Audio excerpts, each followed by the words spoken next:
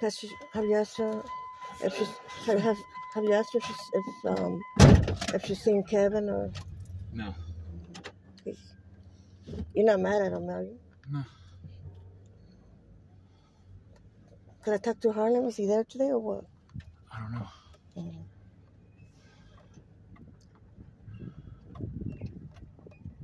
Little squeaking sound. Oh my god.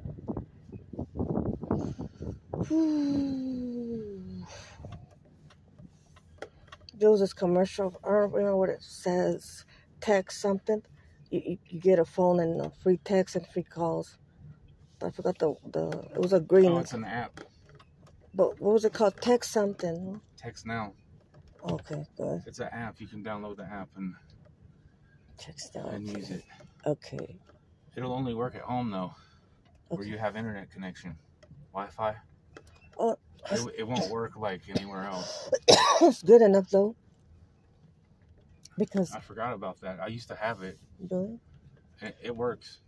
the only reason I need it because um that that one time I need I needed to call an ambulance ambulance. I had to walk go all the way to her door, you know. And sometimes it takes a while too to walk where, you know. You know what I'm saying? Hmm.